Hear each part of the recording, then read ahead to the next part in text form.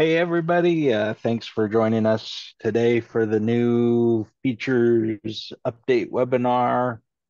Um, hopefully, you're seeing my screen. I'm getting a connection unstable message, but hopefully, everybody's still seeing me and hearing me. Yep, Um, so far. but okay, great. Um, I'm going to start off with an apology. 127 has not released yet. Um, and yeah, just extenuating circumstances. Had a lot going on last week when we were trying to shut down development and um, you know try to get it tested for you guys, and then um, yeah, just still playing catch up this week. So um, we're hoping still this afternoon, but uh, most real, more realistically tomorrow morning. So you know, wait till about mid morning tomorrow and try to download it, and you should be fine. Um, you can always do the check for updates to see when, um, you know, that's from the tools menu, check for updates, uh, or not tools.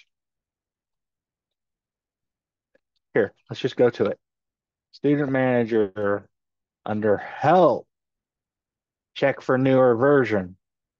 When that says, yes, there's a new version, um, then you can download it. So And also, on if with the you're on show. the um, Uh, one of the things oh, sorry, Matthew, I was just saying if you're on the constant our our email list, you should get that notification when we finally put it out as well.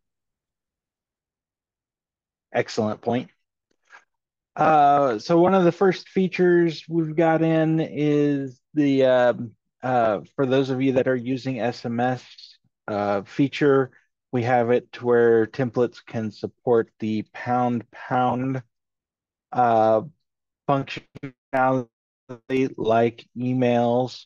So you can encode them with the pound pounds and and not have to mess with the quote plus quote whatever um, type stuff. So that should help with creating your templates. Email to instructors when the enrollment falls below minimum. Uh, this is the uh, should be able to help you if you're already taking advantage of the when the minimum is met. Um, you know, the instructor gets a notification, hey, the minimum has been met. Yay, the courses is a go. I'm notified that it's, you know, somebody canceled, and now that now maybe the course won't go unless somebody else signs up. Um, so yeah, we're uh, we've we've added this ability in Student Manager as of 125, so that is available now. Hybrid courses, a little bit of a change. Before you'd have to do a little bit of math in order to figure out the virtual maximum.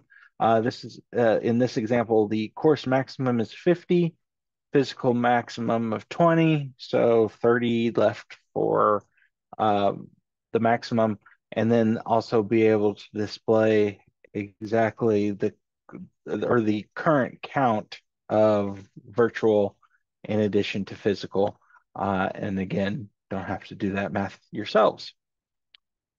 Uh, paid membership requirement. This is a new requisite that you can put in your preferences, and it's just there at the bottom of the course preferences on the left side. Require memberships to be paid before allowing usage.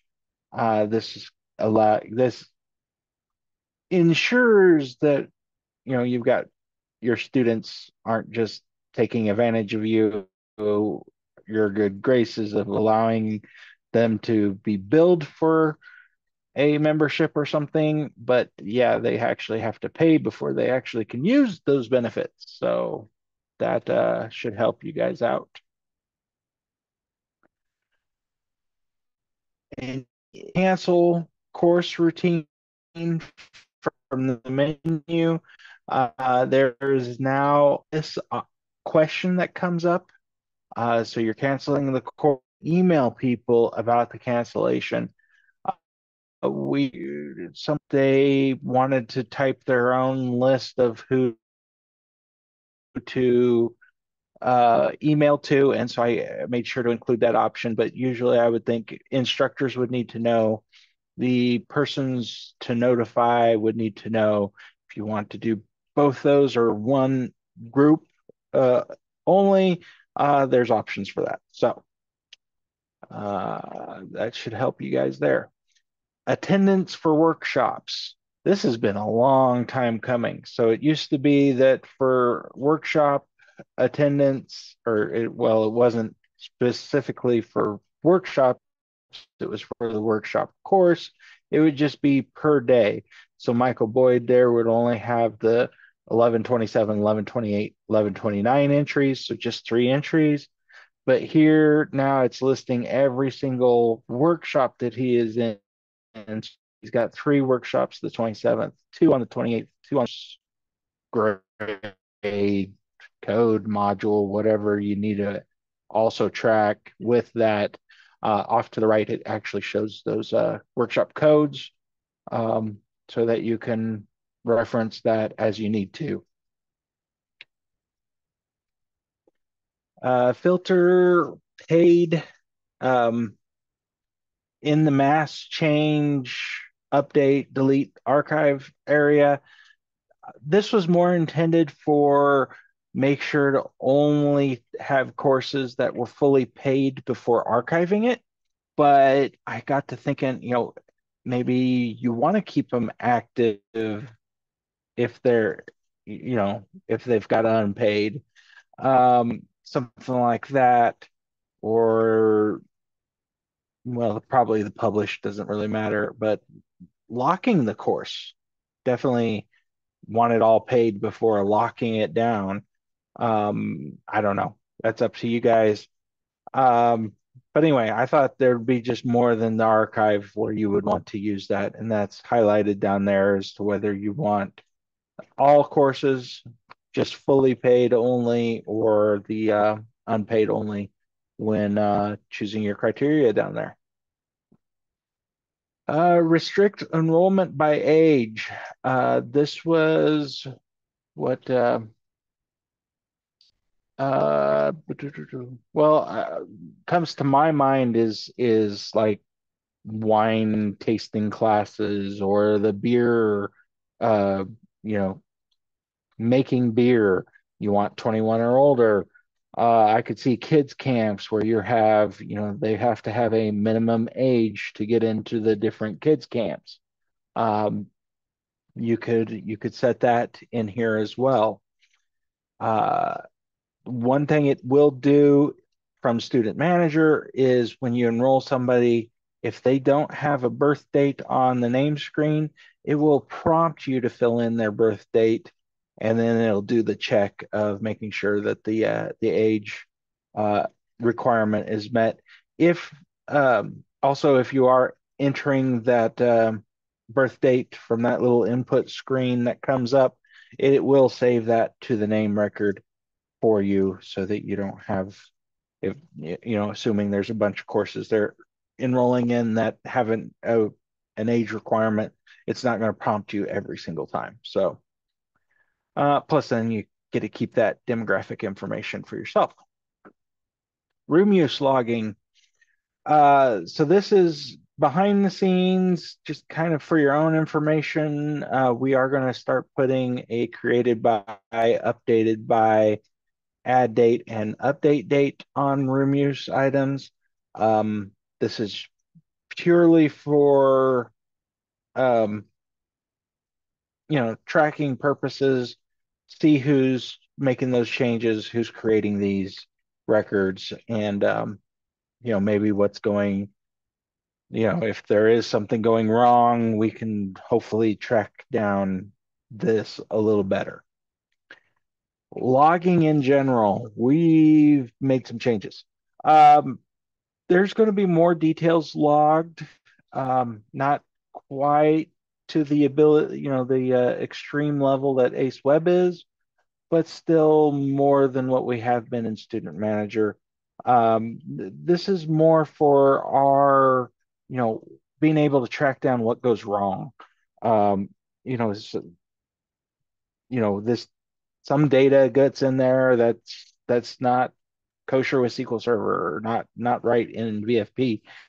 We want to see what what's going on there. Uh, some of the existing logging, we've also done some upgrades to, enhancements to. Uh, should be faster uh, than it has been. However, because we are logging more, this will be a little bit of a performance hit. But this is already, I've already found like two problems with this new logging that I wouldn't have been able to find without it. It has been already been worth it uh, since releasing in 126. Um, and actually, it was in one of the items was in in our testing for the release of 126, and and uh, Cheryl already had it in her system. Um, that I was able to get a good log of what exactly went wrong. So uh, this this has helped us in that respect. Um, also, I've been working in general to make the program faster, a little bit on um, some of the SQL statements have been around forever that have haven't been running the fastest. Those queries just just aren't the greatest. Um, so I would see, I would think you would see this primarily in reporting. Um, I'm hoping to have reports run faster in general. Of course, if there's you know thousands of registrations and payments being shown on a report and there's a whole bunch of calculations with that, then that's not gonna be the speediest anyway. Um, but I'm I'm hoping in general some faster stuff. Uh, I would say though about 70 to 80 percent of these performance enhancements have been geared toward the SQL Server stuff, um, and that's been primarily because of the SQL statements when I first wrote them. Um, you know, I was doing a lot of converting Visual Fox Pro code to SQL Server. Those queries, yeah, I left them with the uh, SQL uh, with the Visual Fox Pro syntax for the uh, uh, indexes. So changing up those to hit those SQL Server indexes is going to help quite a bit. So in general, 126 and even 127, because I've still been working on it. Heck, I was even working on it back in 125 with some of the functions. But um, these builds, these releases should be faster in general, uh, even with this logging uh, going on. But um, or maybe it may some screens it may just be about the same. It may be a wash, but uh, hopefully, I'm I'm hoping you guys will find it faster in general. Uh, instructor fax and pager. This um, on the name screen, we've allowed you guys to relabel those, get rid of the phone formatting, and be so you could use it as another UDF basically. Uh, so basically, we've made that same changes on the instructor screen. Uh, give you a little bit more room there unlimited instructor UDFs. Do I need to say anything more than that? I mean, just another area to give you more UDFs. Yay! Uh, did have to add the new function for it, add INUNL, which is just like the other areas uh, for name, course, and registration unlimited UDFs. Um, so yeah, you can show these on reports too. So uh, expire escrow payments. This is the new thing. This is um, one of the things that's holding us up a little bit because uh, apparently uh, between me getting it working and then getting it to Cheryl for testing, it broke. Um, so uh, trying to get that right. Um, but yeah, we, we basically the idea is you can have a preference. Um, I can show those real quick. Might as well. Come on, student manager. Where'd you go? There you go. Edit preferences. So over here on the pay screen, it's um, uh, right down here, expire escrow. You can set a number of days, maybe 90 days. I don't know, maybe 365. Have it just the year. You can set it to be after the payday or after the date of the cancellation. Uh, that's today. So you can do that, uh, whichever way you want to go with that and be able to set those. And then when the registration um, is, or when the payment is moved to escrow, this date is put on the payment screen. You can go and change that manually if you want to, if you want to adjust that for somebody, maybe um, you're giving them a little bit extra grace period, or maybe you're not happy with them and want to cut that down a little bit. Maybe this is the umpteenth time we've moved these funds to escrow, and you want to make sure they use it not in a year, but in 180 days or something. I don't know, whatever you want to do, but you can change it. Um, so yeah, that's where we're going with that. Um, and I'm actually going to talk about it again here in a little bit. But any questions so far? These are all student manager changes I've showed so far. Uh, Susan, that's you. Any yeah. questions? No, no, there is no questions, but I have one. With the expiring of escrow, okay. that means um instead of having to go through and zap the charges later, it will automatically expire those for you. Right. Exactly. That's Yay. the whole idea. Perfect. Yeah, I'm not seeing any other questions, so uh, yeah. I think you're good to go. Cool. We'll get into Ace Web stuff then. Uh, Ace Web, the gift cards have were showing on the account status, and you guys have pointed out, hey, that's not a, really a course that should be showing on account status. So uh, that was just simple change in in the query to on uh, showing those account status pages. So uh, removed removed the gift card course. Attendance for workshops. So in Student Manager we have it. So why not add it to Ace Web, uh, the instructor access page? So when they're putting attendance in from the instructor access, it's now showing breakdown on workshops. And speaking of which, right now, student manager is set to create attendance right when the student registers. So Ace Web also needs to do that too. Um, and that way you don't have to keep hitting that create attendance on the course. Um, so yeah, that's part of one of the other changes with Ace Web uh, which we're probably will yeah with the student manager delay in getting out we're uh, hopefully we'll get to testing ace web stuff uh, this week. So it's probably going to be the end of next week before we'll have it ready. Um, maybe the week after that although i'd really like it to be out a few days before both stein and i take off for arizona. So um, yeah we're hopefully you're going to have testing on that done. But anyway, uh, coming soon. Require memberships to be paid. So the, the same student manager setting in uh, uh, needed also to have a INI setting in Ace Web to do the same thing. Um, not sure why you would want the different areas doing different things. So yeah, probably want to set that in Student Manager and in Ace Web. But uh, yeah, needed to have an extra control to to do that. Notify instructors when course falls below the minimum. So this is again mimicking the thing I've added in Student Manager.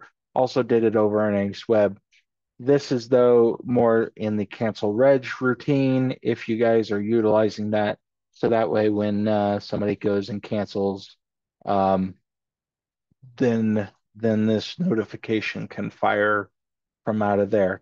And oh, I forgot what template we put this in or if yeah. Oh yeah, we pulled it from the student manager. You can um um the template pulls from student manager. So this don't have to have a separate template for AceWeb. Yippee! Woohoo! I forgot about that. Uh, pay with gift card on Quick Pick. This was all Cheryl. This had nothing to do with Steiner I. Cheryl did it. Thank you, Cheryl. Um, so yeah, I think it was. I don't remember if JavaScript she had to do that with JavaScript or what. Um, but anyway, was able to make the change, and so the gift card feature with regular stuff can now be used with Quick Pick. By the way, if you don't have that module, I would consider that to be a very good investment, guys. Get that module. Get with Sharon when she gets back from vacation, or get with Susan on a quote for it. Because hey, that's a good play, good thing to have. Are you talking about the gift card module or the quick pick module? Gift card. okay, gift card clarification. Module. Quick pick is a beast all to itself. I don't know that that's more you know the OLLI people definitely big advantages for them. Um, if you guys do a lot with memberships, definitely Quick Pick would help you, I think. But um, um, but yeah, no, I was more talking the gift card module. Getting that, that I think selling gift cards. Anyway, next thing on my list is exporting rosters as XLSX. We've been using the archaic XLS format forever. Um, I went and updated that. This is just on exporting rosters. So your students, when they're, or the, not students, instructors, when they're downloading those rosters in uh, Excel format, it's going to use the modern Excel. So no more warnings about, hey, this old version, blah, blah, blah. I'm going to interrupt uh, you really quick here, Matthew. We had a couple of questions come through regarding uh, OLLI and Quick Pick. Maxi asks, if we have OLLI using Quick Pick, would you recommend the setting on or off? I'm uh, guessing for the gift cards, since that's what we were just talking about.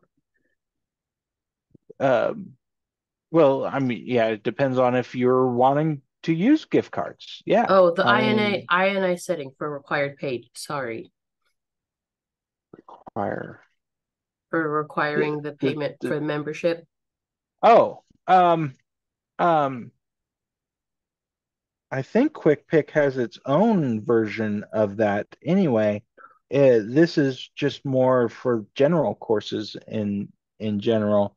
So, um, because well, a lot of a lot of times people are buying the membership at the same time.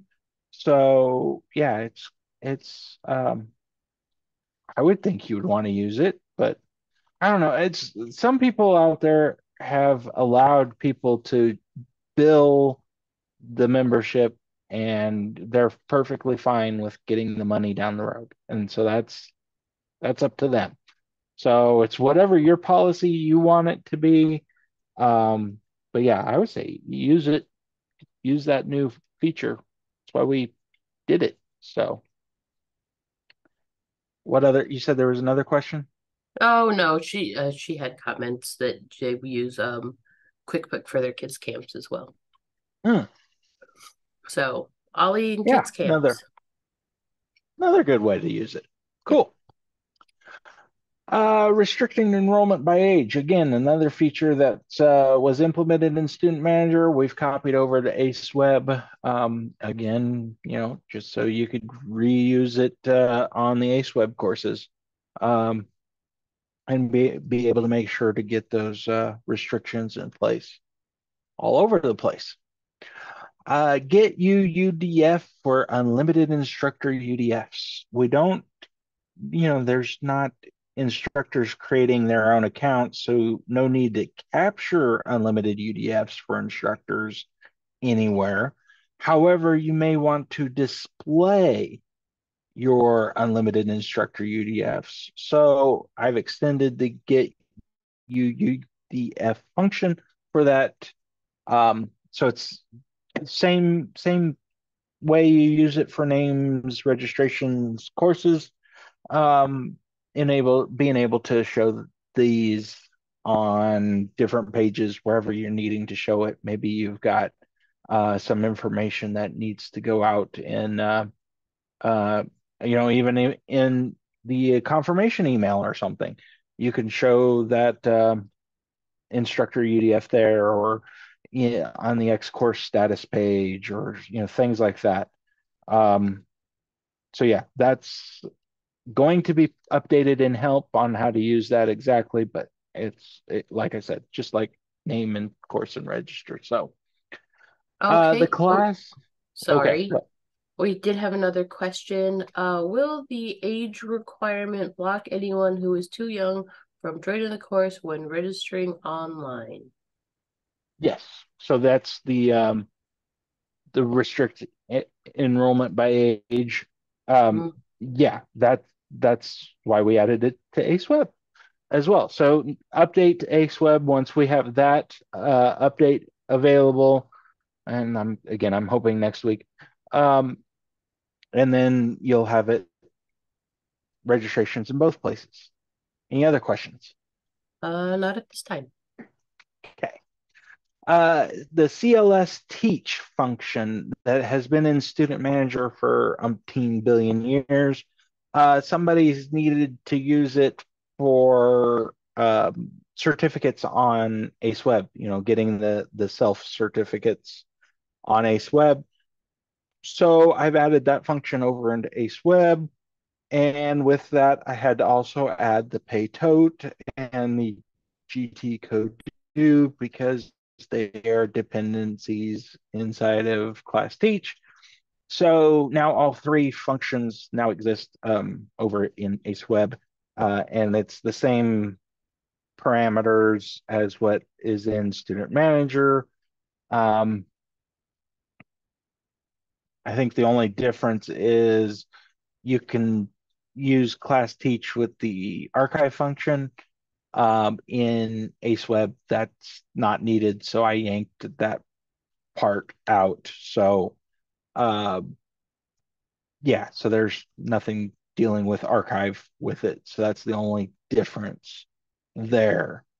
Um, but yeah, should give you guys some more things, more tools to utilize.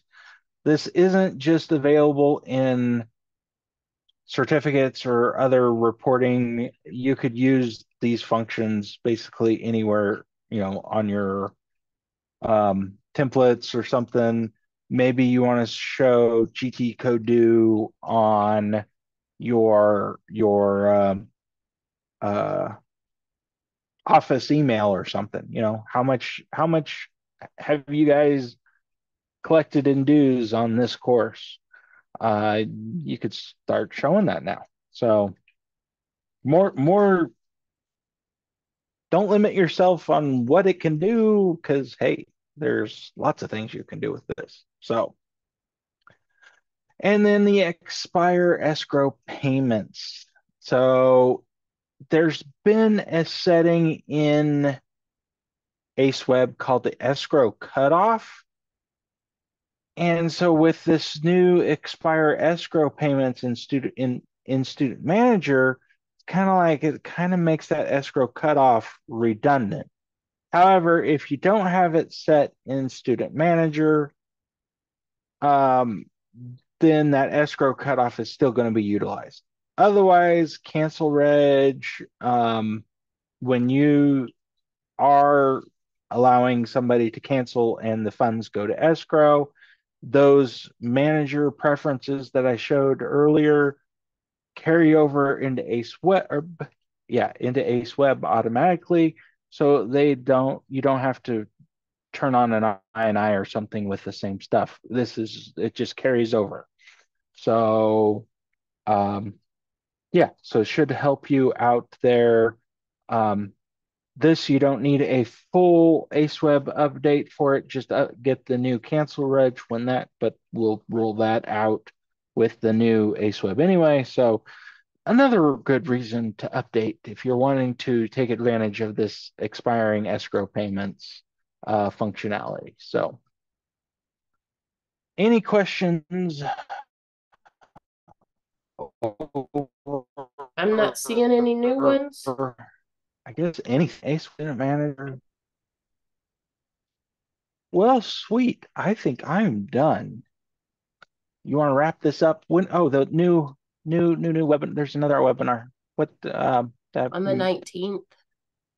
Yes, thank you. Nineteenth. What was it called? It is called. or what are we doing for it? I don't. It's a webinar with ProTrain. Um, I believe, um, and uh, correct me if I'm wrong, but I believe we're going to um, have Maxie on that, talking about how she works with ProTrain and gets ProTrain and Student Manager all working together to help her program make some uh, extra funds. Excellent. Yeah. So we've got that ProTrain um, import to mm-hmm. allow you to to import those uh, uh, you, you have ProTrain whatnot. So yes, very good. All right. Well, if we don't have any more questions and Matthew's done, we'll let y'all guys have the rest of your time back. Um uh I hope you guys have a, a great rest of your afternoon.